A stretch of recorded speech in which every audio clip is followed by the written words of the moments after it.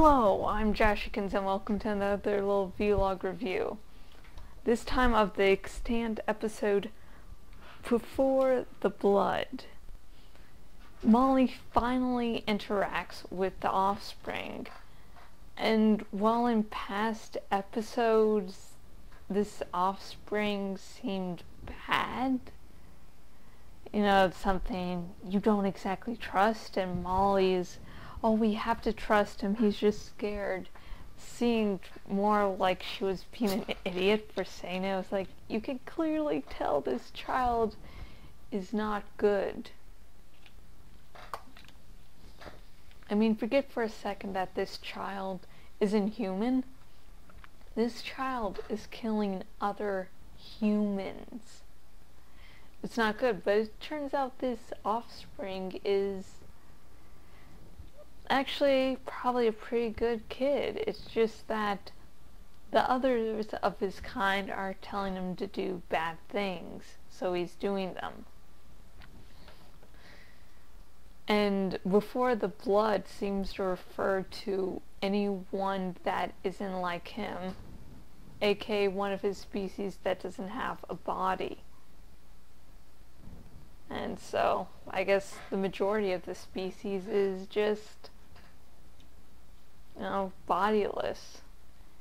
And they want to come to Earth because there's so many bodies to feed on. And that's fucking freaky.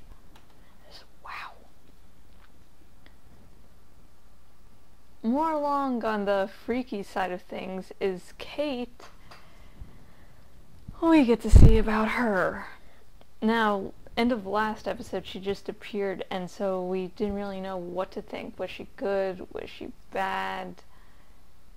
Just bad.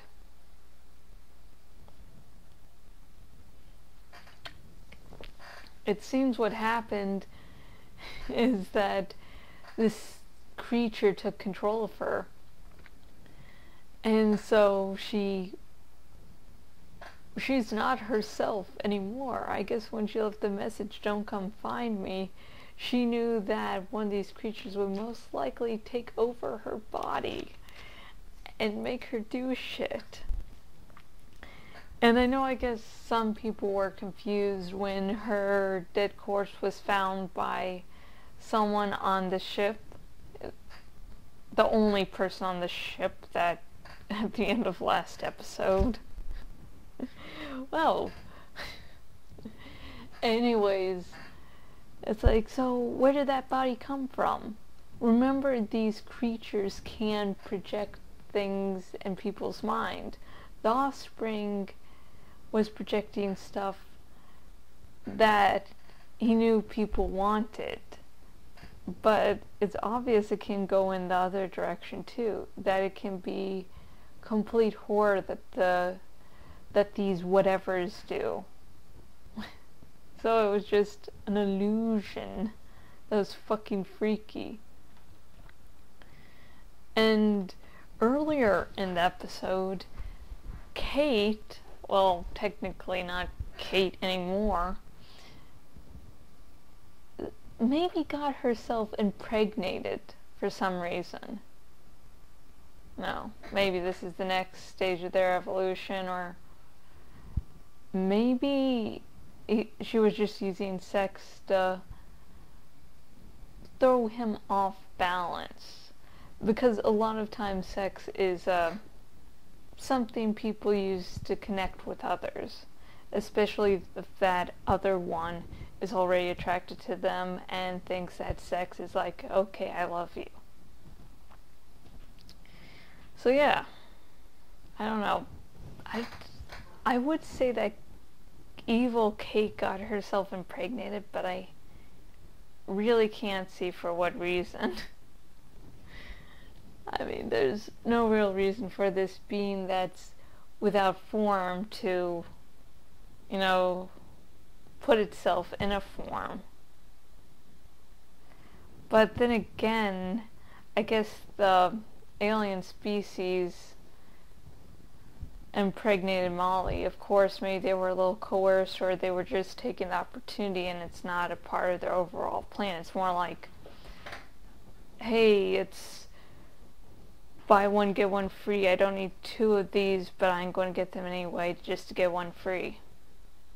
You know, opportunity, not exactly one big grand plan of involving into people with bodies that can seriously mm-hmm. mind fuck someone.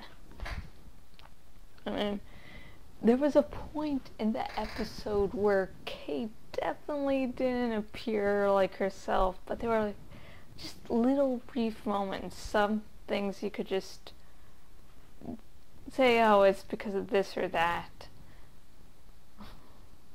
And I was like, hey, she's acting too human.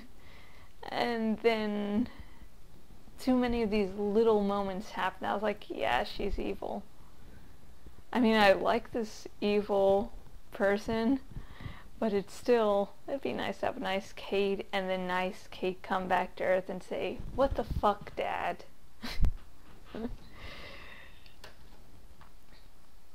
Julie finally figures out Odin's plan. Ethan is about to be examined in the lab, and when he reacts violently to that, Julie finds out that there's something up with Odin, so she goes to Odin's apartment and finds out I mean before she went to his apartment she found out that he wasn't really Odin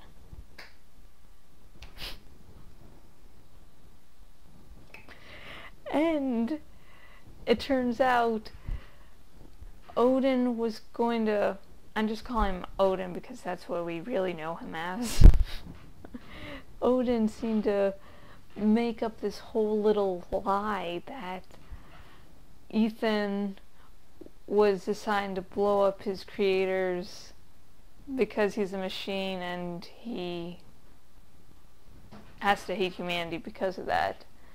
And so Julie finds that out and yeah. I mean, this really has to hurt with Julie, even though I never saw her as someone for a long-term relationship, someone, you know, maybe have a short-term relationship or just sex and then move on and that's fine. But once you find out your lover has a secret like this, that was going to kill you and others get involved and not seeming to care, yeah, that's that's going to hurt. It's like, hey, I didn't expect something big to happen, but holy fuck. So I really hope that Julie recovers. Or she doesn't seem to really hit a big bump, but I can't wait to see what happens now. And my final thoughts for the extant episode before the blood is this is a good episode and my really only one complaint I'm watching the episode going, yes, yes, yes, I can't wait to see what, oh god, I have to wait a week and then it's the finale and it's probably not going to be renewed and like, yeah, so it definitely great build up. I love it. I can't wait to see the finale. But next week I'm going to be in California, so I probably won't be able to get a vlog out. That's of duh. So don't worry, I'll have a season review of the entire extant season. So. And I have been Jashykins, owner at jashykins.blogspot.com. If you go to my blog, you can see vlog reviews like this. The first episode of With Extra Happy is on there, and Sunday should be the premiere episode of Zone 91 an Animorphs Free Read podcast. If you go on my blog and you look at the sidebar thing, you can see where else I am on the web. And you can go pop up on like Tumblr and say hi to me.